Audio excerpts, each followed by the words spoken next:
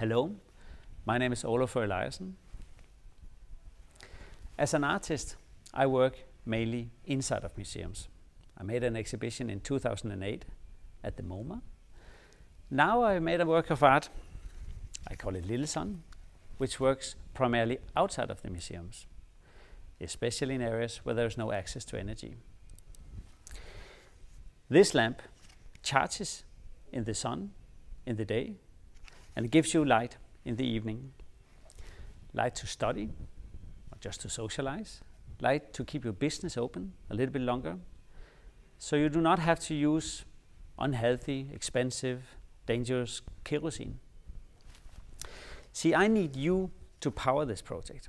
I need you and the MoMA store to be creative together.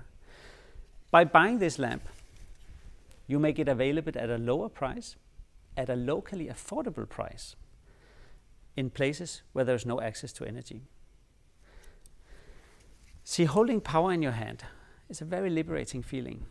It's about feeling resourceful, it's about feeling connected.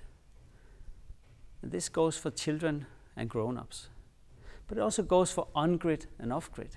it's about the things we share. So please join this project. Buy the Little Sun, spread the word, share it, and take direction of your own life. Thank you.